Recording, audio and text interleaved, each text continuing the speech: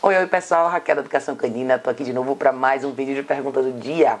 Hoje eu vou responder a pergunta do Humberto. Humberto. Humberto mandou uma pergunta pelo Facebook falando, Raquel, como saber se o latido do meu cachorro é de alerta, pois está ligado à genética dele por ser um cão de alarme, um Schnauzer, ou se é um latido de problema comportamental. Humberto, brigadíssimo pela sua pergunta. É uma pergunta super relevante e acontece bastante, principalmente com pessoas que têm cães como o seu, Schnauzers. Claro que existe o fator genético para uma série de coisas, tá? Vários cães são predispostos a comportamentos específicos. Isso não quer dizer que esses comportamentos desenvolvidos a longo prazo não se tornam maus hábitos. Vários cães têm predisposição genética a práticas que não são aplicáveis no universo doméstico urbano. Então, Schnauzers não são só conhecidos por vocalizar, mas várias outras raças, como Terrier, são conhecidos por cavar, eles caçam roedores. Então, no mundo real, doméstico, urbano, isso não tem nenhuma aplicabilidade. Então, vai ser muito importante você conseguir drenar a energia desse cachorro e trabalhar o comportamento dele para que você tenha, você tire esse hábito da sua prática diária. No seu caso em específico, eu já vi muitos cães assim, muita gente que tem Schnauzer acaba justificando um comportamento e um hábito errado do cachorro por causa da questão genética. O cachorro é predisposto a vocalizar? Sim, é. Agora, cães que a gente fala que são cães de alarme, cães de alerta, existe uma característica aí importante para se considerar. Muitos cães que são alertas são cães inseguros, são cães que, uma, de uma forma ou de outra, não se sentem tão à vontade, não ficam tão bem ao redor de estímulos específicos, sejam movimentos muito rápidos, outros cães, outros animais, aproximação de pessoas, enfim. É importante, se você puder, ler o artigo que eu tenho no meu site sobre reatividade, tá? Tanto a pessoas como a cães. Eu não sei se esse é o caso do seu cachorro, mas o que você vai entender é que a vocalização ela é um sintoma de um problema que tem lá atrás. Então, se, você, se o seu cachorro vocaliza demais na rua, preste atenção se ele vocaliza por quê. Se ele viu. Schnauzers são muito visuais.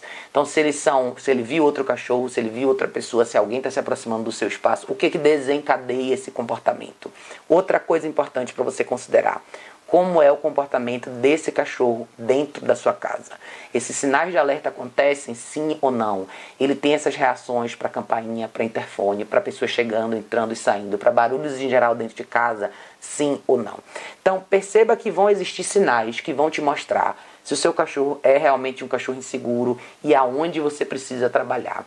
Dentro de casa, de novo, é importantíssimo você trabalhar a introdução do exercício de controle de impulso, restrição de espaço, e você começar a inserir esses estímulos e mostrar para o seu cachorro que você não quer essa vocalização como resposta. Como que você vai fazer isso? Depende da prática que você fizer todos os dias. Então você tem que corrigir o que você não quer. É importante você poder mostrar para o seu cachorro que aquele latido é uma coisa que você não quer, você não precisa, você resolve.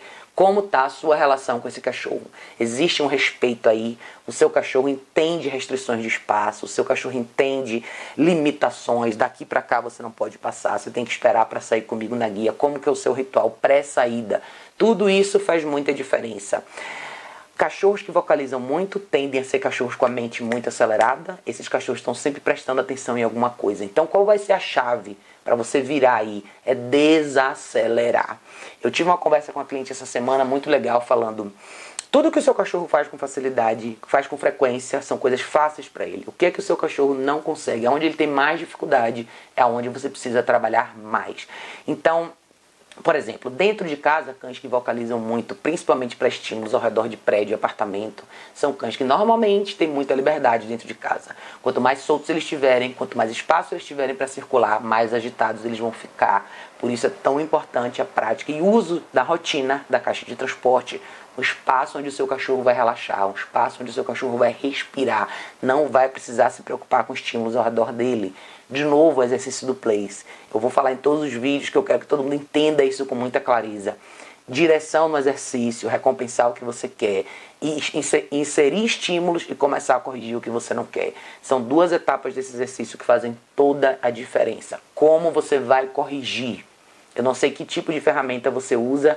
Se você tiver a oportunidade de trabalhar com a iColor, a cola eletrônica que eu falo bastante, você vai ter um sucesso super rápido. Juntando a, a, a aplicabilidade da coleira eletrônica dentro do contexto educacional, juntando isso tudo com o uso da comida do dia para você fazer os marcadores do que você quer, seu resultado vai ser rápido. Porém, você tem que pôr isso em prática todos os dias, tá? De novo, se você quiser me dar detalhes de aonde esses momentos de alerta acontecem, é dentro de casa, é na rua, é nos dois espaços.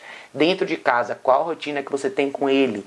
Seu cachorro tem restrições ou ele tem mais é, privilégios dentro de casa. Ele sobe e desce do sofá quando ele quer, sobe e desce da cama quando ele quer, ele tem acesso à casa inteira, ele sabe esperar para comer, ele sabe esperar para sair. Qual a postura dele, de forma geral, em toda a rotina que acontece dentro e fora de casa? Você tem hábito de levar em lugares diferentes, como ele se comporta em lugares diferentes. Então, tudo isso vai fazer diferença, mas no geral eu acho que a sua resposta é simples aplicar o conceito de liderança, mostrar para o seu cachorro que você lida com esses estímulos, não ele, seja porque a campanha tocou, porque o seu vizinho passou no hall, porque um cachorro está vindo na sua direção.